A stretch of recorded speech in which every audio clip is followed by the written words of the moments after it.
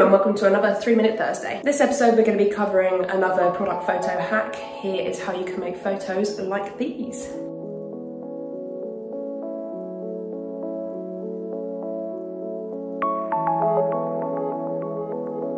So for this product hack, all you need is your laptop, a mirror, some cotton wool or some stuffing, and your product. On your laptop, go to Google and type in cloud background and find one you want, or you can use multiple. Save that image and open it up and make sure it's at full screen.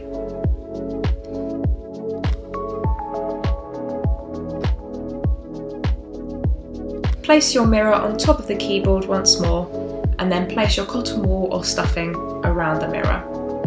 Finally, place your product in the centre.